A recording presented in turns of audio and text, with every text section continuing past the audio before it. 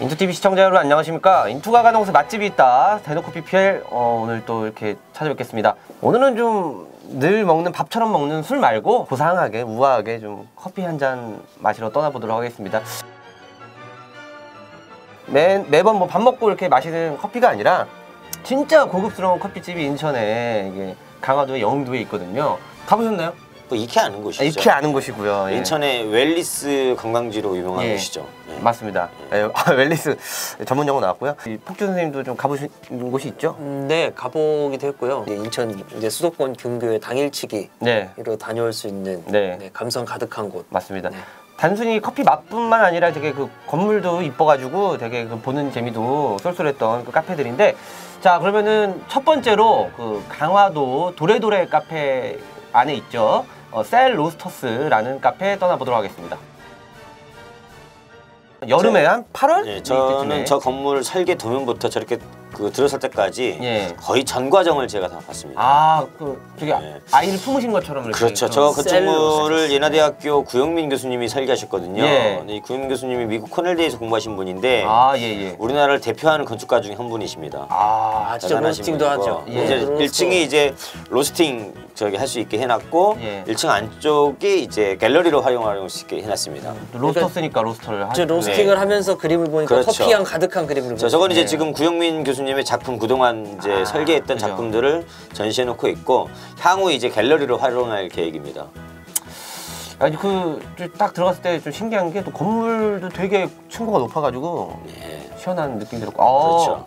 저게 이제 다 구영민 교수님이 했던 작품들 전시해 놓은 건데 예. 저 셀로스터 건물 자체가 굉장히 그, 그 저게 지금 셀로스터 모형이거든요. 그죠, 그죠. 저걸 해놓은 거죠. 그 조경도 경, 그 신경을 써서 했고요.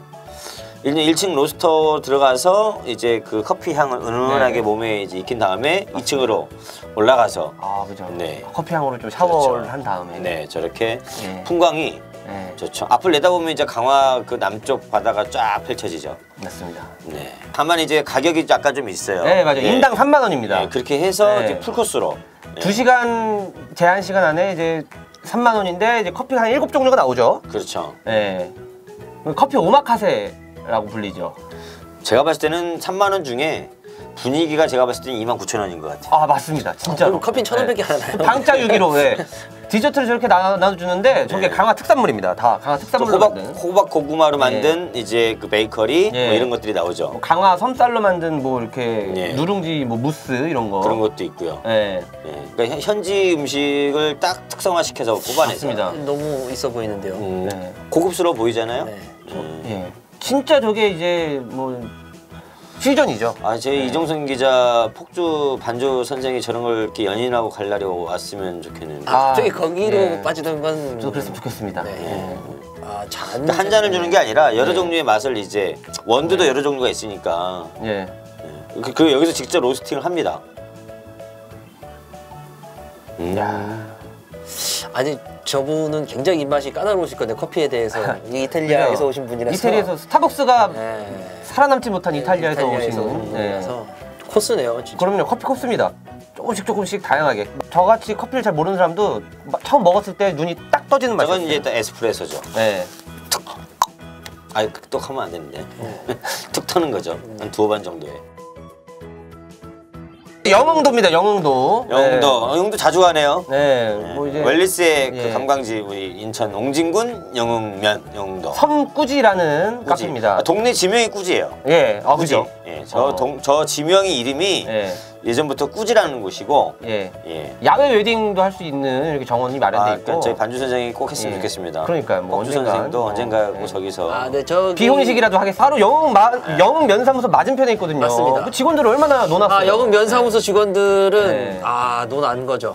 여기도 다 직접 이제 그런 기계들이 다 있죠. 네. 예. 공간이 여러 개가 있잖아요. 예 맞습니다 네. 제가 봤을 때는 이게 그 그 뭐 영도의 저기 뻘다방도 유명한데 네. 제가 봤을 때는 여기가 더 호젓하고 아 호젓하다는 표현 너무 아 맞습니다 방은 비견이 안 될 겁니다. 네. 그 해송과 각종 그 네. 하렵수와 그다음에 영쪽 바다만이 네. 딱 조화를 이루는 곳이죠. 네. 이게 커피를 들고 한 바퀴 도는데 꽤 오래 걸려요. 맞아요 꽤 오래 걸립니다. 예. 야외에도 자리가 많아요. 그리고 자리가 많- 많고. 예. 야외 자리가 오히려 많- 오히려 많았습니다. 잘 해놓으셨네요. 예. 예, 꽃필 때가 정말 좋아요. 그리고 딱 보이죠 이제. 예, 영웅. 저쪽 영대교가 영, 영대교까지. 보이는 네. 이 풍광이 그냥 저, 저 자리가 딱 앉아서 찍은 자리인데 아, 아, 나네요. 나왔네. 에스프레소. 아, 예. 에스프레소 저건 누가 시켰는지 알 것 같습니다. 네, 에스프레소는 그 모태균 PD 아니었을까? 싶습니다. 본토에서 오신. 아, 이분들 여기 계시는군요. 네. 네. 뭐 짱구네를 아. 찍었을 때와 약간 복장이 겹치네요. 네. 그분들이 신- 아 짱구네에서 일잔 하고 짱구네에서 먹고 일로 오셨군요. 같은 네. 아, 그러시군요. 여기가 정말 좋았어요. 가을의 빛을 피해서 네. 가을의 빛 따가워요. 보는 것만 여기가 이제 야외 웨딩 하는 곳이죠. 아, 네. 언젠가는 김현철 네. 저 위에 rooftop도 있는 겁니다. 네, 네. 루프탑. 근데 저거는 이제 아직 안전 거기서 턱시도를 입고 내려왔으면 좋겠습니다. 아, 사연은 제가 봐야죠. 예. 아, 이렇게 해서 강화도와 영흥도 인천 서움에 있는 핫한 카페 모셔봤습니다. 어떠셨는지 좀 소감 부탁드리겠습니다. 우리 폭주 선생님부터.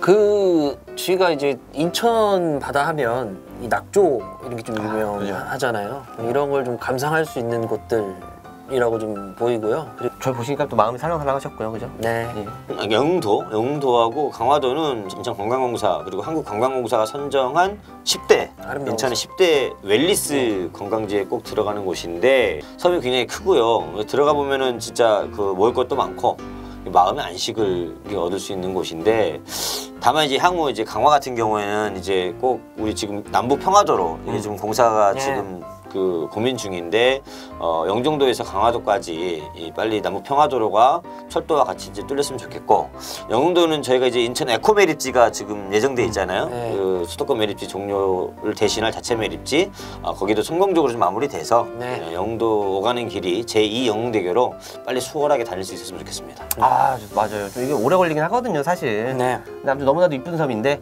좀 더 편하게 다녔으면 좋겠고 어, 또 시청자 여러분들도 이렇게 편하게 맛있는 음식과 이 커피 즐기시길 바라겠습니다. 아, 오늘 대동피플 여기서 마무리하도록 하겠습니다. 시청자 여러분 감사합니다.